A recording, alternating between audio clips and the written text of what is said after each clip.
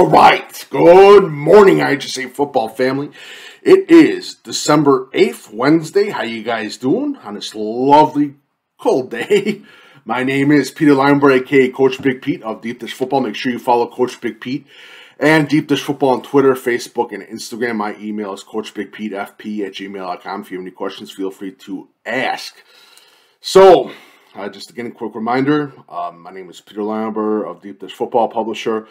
Um, if you like my work, feel free to leave a tip slash donation via PayPal link below in the video or in the article as well. This is on article as well. Visit deepdishfootball.com. Advertisers still looking for advertisers for next year. Um, and if you're interested, email me coachbigpete, fp at gmail.com. Have your brand or business featured on Deep Dish Football. Um, and again, next month, uh, January 9th, starts the Deep Dish Football fundraiser to uh, keep Deep Dish Football going. Um, and uh, just check it out. Um, it's going to be on starting on the 9th. It's going to go to February 9th or 8th. Um, also, recruits fill out the recruiting questionnaire as well. It's on deepdishfootball.com, brand new. And whoops, sorry about that. Um, and also, do still doing free recruiting advisement sessions with parents and players. It's absolutely free. Uh, file, uh, schedule a deep dish football, uh, free recruiting advisement session with me it's absolutely free again. Parents and recruits, my email is coachbigpete, at gmail.com. have done a, a, lot so far, and it's been fun. It's been fun, and it's great to get to know some parents and some kids, and just to help. And again, like I said, recruiting is 100% free. Do not pay for a recruiting service. Don't pay for it. It's an absolute scam. And I, I get angry when I get emails from parents saying that we got scammed, blah, blah, blah. You were right. I'm sick and tired, and I hate, and I'm not that. I'm not that uh, big of a. Um, I don't have an ego, but when a high school coach tells you that recruiting is free, when a college coach tells you that recruiting is free, and when I tell you recruiting is free, recruiting is free. Come on, listen, people, please, don't waste your money. All right, so let's get into uh, December 8th of uh, 2021, episode 3 of the recruiting report for Deep Dish Football. I'll do this every day till December 15th. I might take a break this weekend, but we'll see. Uh, Marist. Agee, wide receiver, an absolute great kid. Honestly, good kid. Uh, saw him at uh, Next Level Workout last winter. He gets an offer from Army, well deserved offer. Um, small speedster, um, can do anything and everything, especially with that Army offense. It's a great offer for Army. AK Agee, keep an eye out for the kid. Next, and uh, this is not much of a this is not much of a big, I would say a big surprise.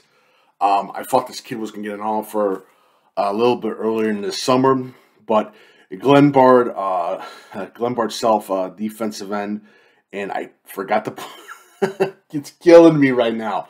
Um, Glenbard South defensive end, uh, class 2023 6'4", uh, gets an offer from uh, Central Michigan. I forgot to put his F and last name. And it's killing me.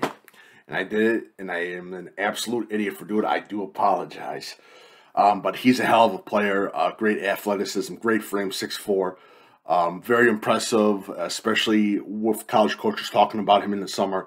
Definitely kid to keep an eye out for. Eddie Tuerk um, from Lyons Township, another defensive end, gets an offer from Iowa State. Uh, a little bit surprised by this because I thought he was going to get. I thought he was. I thought he was going to get the first. His first Divisional One offer was going to be from Iowa State. That was my personal feeling because usually Iowa State is always the first one to get the first offer in. I uh, completely shocked Iowa State got this late to Eddie Tuerk. Uh, Santis, Santis Tsgalis of Prospect gets an offer from Valparaiso. Again, big man, definitely kid you keep an eye for. Malik Elzy, who's got numerous offers, wide receiver from Simeon, gets an offer from Syracuse, and Dino Babers hits up the Illinois pipeline. Again, not that much of a surprise. Um, he's going to get he's going to continuously get more and more offers. He was very impressive. I loved how I saw the whole game between him and Phillips. It was a great game. Um, just impressive Malik Elzy. Um, all right, so let's get into uh, as I do every uh, show the underclassmen spotlight. And again, if you want your uh, spotlight, just let me know. Email me, tweet at me. Hey, Pete, I want to be part of the spotlight. Blah blah blah. Um, and I just picked these kids off of Twitter. And uh, one of the players that I really like is out of uh, LaSalle, Peru, Nikolas uh, Belski. Offensive lineman class of 2023, 6'3", 250. Uh, one of my favorite linemen, I gotta say, uh, for this 2023 uh, class, great mobility, tough. Again, another tough nosed kid. Um, LaSalle Peru had had a great season last season, um, and he was one of the key players. But Nikolas uh, Belski is definitely a kid you want to keep an eye out for. A good frame, um, just tremendous potential, tremendous upside for this young man. Um, I forgot who, I forgot the game that he played. There was one game where he was just absolutely mauling defensive linemen. Uh, but Nikolas Belski, unbelievable, and a good, good again, good tenacity, finishes his blocks. Definitely a kid you want to keep an eye out for. Next, Edward Kentra of of uh, sorry of Hinsdale Central, class of 2024. Um, gave a little bit of a quick look again. Hinsdale Central again. I'm I'm out of Westmont. I keep a close eye on those Hinsdale's kids, and Edward Kentra is one of those kids, defensive end. Um, very impressive athleticism, especially for that young of an age. Um, and I gotta say, great acceleration, good two first, good two first step burst. Um, gets into his contain. Also, a uh, good little bit on the handwork. Uh, still needs a little some improvements, but again, that's all young defensive line need improvements. And I talked about the defensive line that have gotten offers. Um, they still need improvement too. And um, this kid Edward Kentra is going to be another huge player to keep an eye out for the class of 2024. Um, love his speed, love his tenacity. Again, still has to work a little bit on his technique. I think that's going to be huge for him.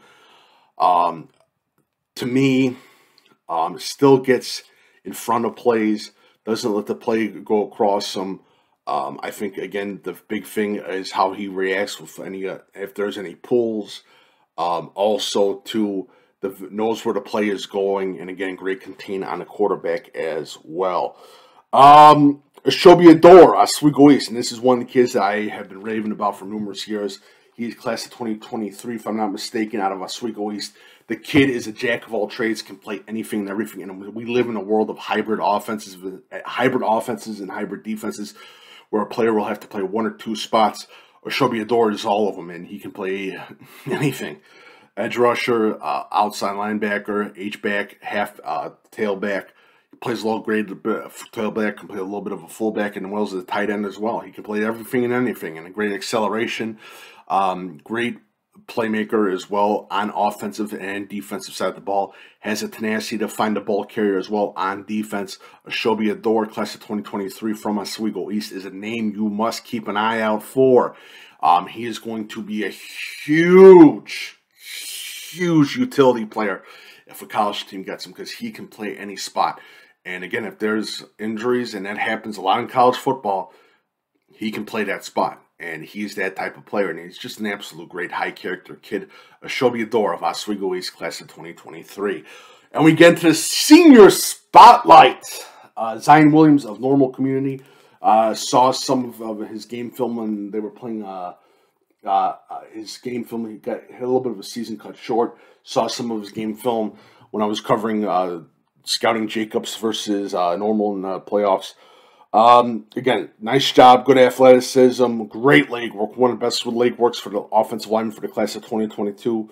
Um, still needs a little bit more work on his handwork. Um, very impressive, like I said, athleticism, and you will love those athletic offensive linemen. But Zion Williams from Normal Community Class of 2022, 6'4", um, just unbelievable. Just another kid to keep an eye out for, um, especially those college coaches that are looking for to uh, fix up their offensive line that have a couple few more offers left in them.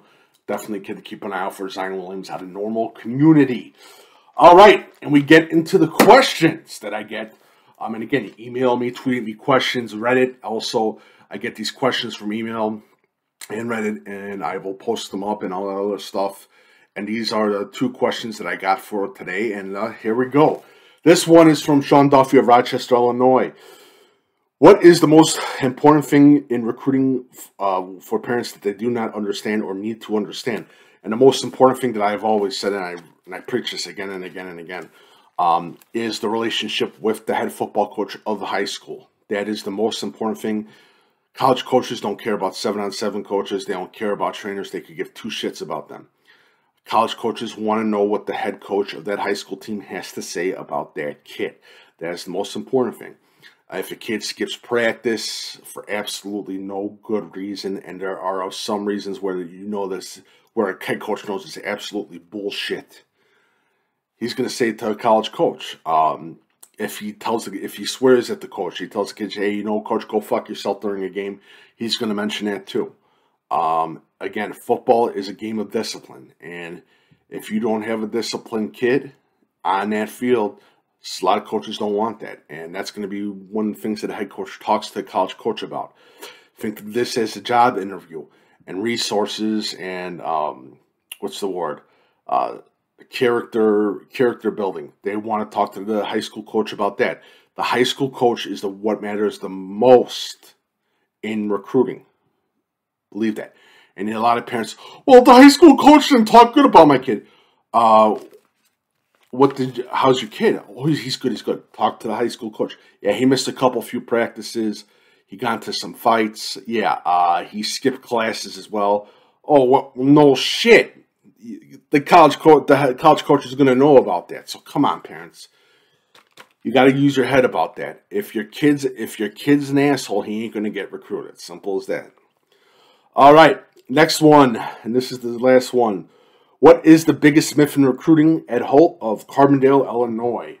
The biggest myth in recruiting, in football recruiting, well, I can think of a lot. There's a lot of myths. Um, one is stars, recruiting stars, they don't matter. Actually, if you want to look at uh, kids' um, offers, you look at the schools, they read like, hi, hi, um, this is going to kill me, hieroglyphics in the old Egyptian times if a kid gets offered from Army and Navy or Air Force, he's a, that means he's a disciplined player, and that's a lot of schools are interested in that. Um, if a kid gets an offer from certain schools in the southeast, you don't want to touch that kid. It, it, the offers read like hieroglyphics in the Egyptian times, and um, but stars don't matter. And a lot of people think, oh, I gotta get those stars. I gotta get the stars come after the offers. It's an absolute joke. I can make a rating system of pizza slices for deep dish football and if a kid gets, has a certain amount of MAC offers, I can give him one or two stars. If a kid gets another Big Ten offer, I'll give him three stars. Um, and it's been documented that boosters have paid for stars from different college teams. And that's why you see a lot of college teams in the Southeast get favored by the, um, by rivals. When you talk about 24 7, the recruiting website, they favor more of a Big Ten school as well. That's what people have to understand. Stars and rankings, they mean absolutely crap. Offers is what matters the most, and uh, it's it's funny because I just got an offer, and then I got I accidentally got three or four stars. That's because that that recruiting writer didn't know ass crap about the player, and he found out that the school offered him, and then they, they talked to the main management, and they got him a star. If you need to search about stars, search Blake Carringer. He was a fake football recruit who got fakes who uh, two two play uh, two kids made up about, and he got they said he got an offer from Alabama and Tennessee. Rivals gave him stars because Rivals they absolutely knows crap. So you got to understand it. Most of these writers don't have never played, never coached, never even scouted in their life. And that's one of the funniest things when I tell parents, "Oh well, he what's up, coach? He never coached. He, he didn't coach anything. He didn't scout anything." Again, it's they just recycle old ESPN terms and edge crap, and NFL Network terms that they heard on television or they read in a paper, and they just keep recycling. Do you know how many times uh, these writers quote Mel Kiper? Do you know how many times? It's sad. It's pretty pitiful too. And college coaches laugh at these writers too, and they think that college co- uh, college writers get a oh they know these they know these coaches they talk to these coaches bullshit. Most of these writers don't, and some of the best writers that know these coaches don't write for rivals or twenty four seven. Okay, they're usually newspaper writers, to be honest with you. So that's one of the biggest mess that we talk about. Again, if you have any questions, feel free to ask me. Send me an email, fp, um, or Reddit or Twitter or whatever, and have your questions read on recruiting report, which will end on December 15th on National Early Sign Day. I will, I will be covering that. If you like my work, feel free to leave a tip slash via slash donation via PayPal link uh, in the video or whatever. Um, again, fundraiser begins in January 9th. Also, my email again is CoachBigPete, fp at gmail.com. Follow Coach Big Pete and Deep Dish Football on Twitter, Facebook, and Instagram. Also, um, again, still doing free recruiting advisement sessions, parents. Make sure you schedule your ones with you and your kid. It's absolutely free. Uh, email me, CoachBigPete, fp at gmail.com. As always, I keep saying, CoachBigPete, fp at gmail.com.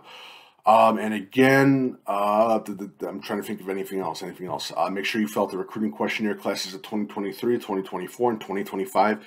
Make sure I have your info. Thank you guys so much for joining for the recruiting report for December 8th, 2021. Thank you guys so much and enjoy the day.